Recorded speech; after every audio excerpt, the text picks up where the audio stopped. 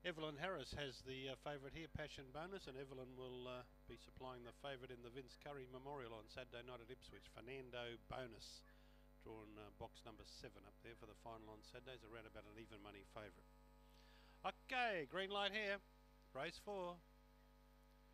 They're racing.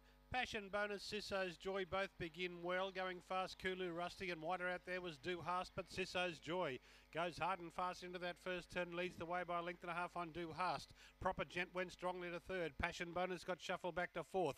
Followed there by Mr. Belvedere, Wild Ash Willow, Dollar and Cent and Kulu Rusty coming off the back and Sisso's Joy out by about three on Do Hast and Proper Gent into the straight. Sisso's Joy doing it well. Sisso's Joy is too good. Passion Bonus got up to run second. Do Hast third.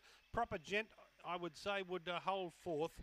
They're followed by Mr. Belvedere, Wild Ash Willow, and then Dollar and Cent and Kulu Rusty. Winner about 30 and 2. To Sisso's Joy, Michael Menken, 340 and 160. One Passion Bonus, $1.40 and eight Do Hast.